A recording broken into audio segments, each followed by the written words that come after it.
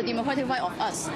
Revelations continue to emerge from the NSA files Edward Snowden disclosed. The Guardian of London reports the British government conducted extensive surveillance on foreign diplomats attending the 2009 G20 summit in London.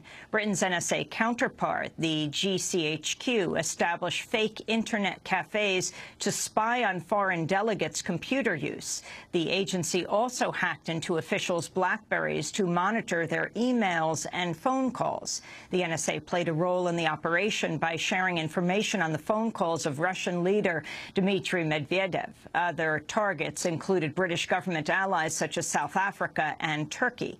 The spying appears to have been spurred by the British government's desire for an advantage in the G20 talks. An internal briefing paper said the GCHQ's intent was to provide, quote, intelligence relevant to the government's desired outcomes for its presidency of the G20. The news comes just as Britain's hosting the G8 summit, which begins today. All G8 members belong to the G20, and the latest revelations are likely to fuel tensions. Ahead of the G8, thousands of people marched in Northern Ireland near where the two-day summit is being held. Well, G8 has come, and for every action there's a reaction. Our reaction is you need to listen to the people. There's a chance for a better world here. Uh, the way you're doing it isn't working and it isn't fair.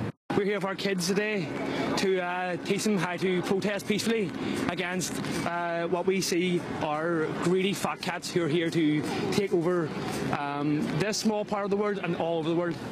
On Sunday, Amnesty International staged a rally for the closure of Guantanamo Bay outside a Belfast venue where President Obama is speaking today.